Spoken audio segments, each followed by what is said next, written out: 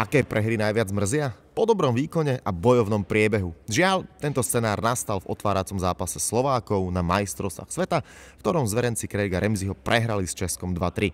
Dvakrát zápase viedli, ale napokon nezískali ani bod. Počúvate ďalší Sportnet podcast z hokejových majstrovstiev sveta z dejiska šampionátu. Od mikrofónu vás zdraví Stano Benčat a Boris Vania. Denný špeciál k majstrovstvám sveta v hokeji v Rige nájdete každé ráno v podcaste Sportnetu, na všetkých podcastových aplikáciách a na webe sportnet.sk. Sledujte náš Instagram, Facebook, ostatné sociálne siete, samozrejme stránku sportnet.sk, kde nájdete všetky čerstvé informácie od nás. No a my pevne veríme, že dnes to bude lepšie, pretože dnes budú hrať naši reprezentanti s Lotyšskom, ale k tomu sa dostaneme. Tam bude takisto skvelá atmosféra, no ale čo si budeme hovoriť? Federálne derby, to bola úžasná reklama na hokej. Skvelá atmosféra, napokon poďte si vypočuť, ako to aj bolo na tribúnach.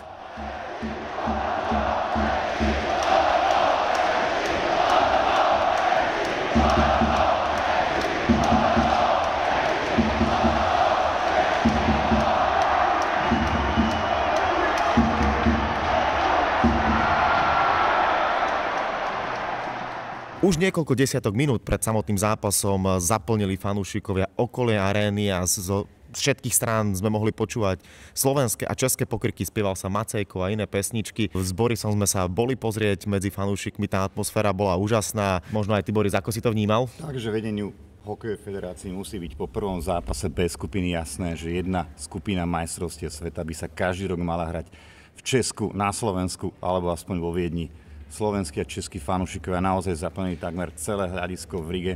Voľných zostalo iba zo pár stovek sedadiel a ak lotišskí organizátori nebudú v strate, lebo zatiaľ sú a nie v malej, tak najmä vďaka fanúšikom z Česka a Slovenska. No a poďme k samotnému zápasu. Prvá tretina dvíhala prakticky neustále fanúšikov zo sedadiel. Vyše 7 tisíc skvelých eh, priaznivcov Slovenska a Česka v nej videlo 5 gólov. Prvý už v 5. minúte. Martin Chromiak sa akoby zmenil na Alexandra Ovečkina, dostal to na one-timer bomba ako hrom, on je tiež praváčik, má číslo 8 na adrese, vyhrávali sme 1-0.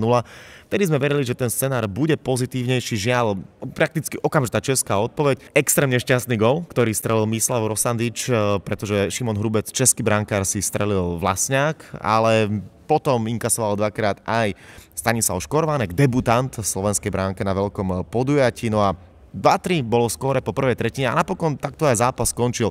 Ako hodnotí zápas Stano Škorvanek, to si teraz môžete vypočuť.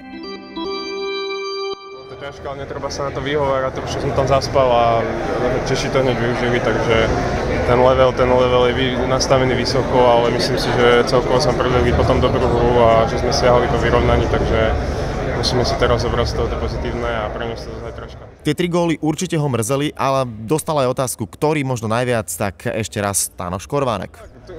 Aj prvý, ale hlavne druhý. No. Ten bol taký zlomový v našej presilovke a kebyže, kebyže to nepadne, tak možno je ten zápas iný, ale to už je keby, keby, keby a to sa už Takže zápas s Českom nám nevyšiel, bol to na jednej strane veľký zážitok pre hráčov, fanúšikov, ale tri body do tabulky si pripísali Česi.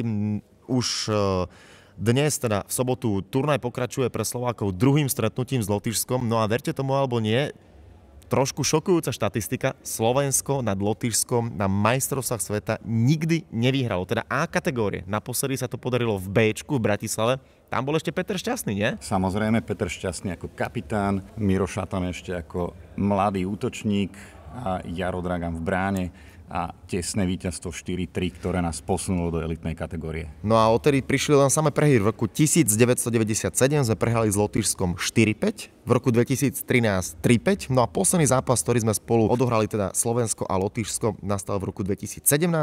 Vtedy tým eh, vedený trénerom Zdenom Cigerom prehral 1-3. Teraz to bude takisto veľmi napínavý duel, alebo dá sa ho očakávať. A už pred šampionátom, aj keď sme sa rozprávali s domácimi fanúšikmi alebo aj novinármi, tak eh, také debaty sú o tom, že je vlastne kľúčový zápas, môže to byť kľúčový zápas pre nás, rovnako tak Lotyšov, pretože eh, podľa toho, ako sú tie týmy nasadené alebo vieme odhadnúť sílu, tak eh, ak by sme zdolali domáce mužstvo, tak cenné tri body a do tej top štvorky by nás to mohlo odraziť. To isté, v to isté budú dúfať Lotyši, ktorí e, prvý zápas takisto prehrali s Kanadou, aj keď e, tam sa to do úvodzovek dalo očakávať.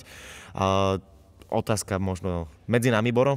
Čo myslíš, koho viac tá prehra rozhodí Slovákov tým, že prehrali s Čechmi, alebo Lotyšov zápas s Kanadou? Tak, Lotyši si zrejme na nejaký bodový zisk proti Kanade, nechcem povedať, že netrúfali, ale možno ten výsledok bol očakávanejší, kdežto Slovákov tá prehra po takomto priebehu a mrzí zrejme viac.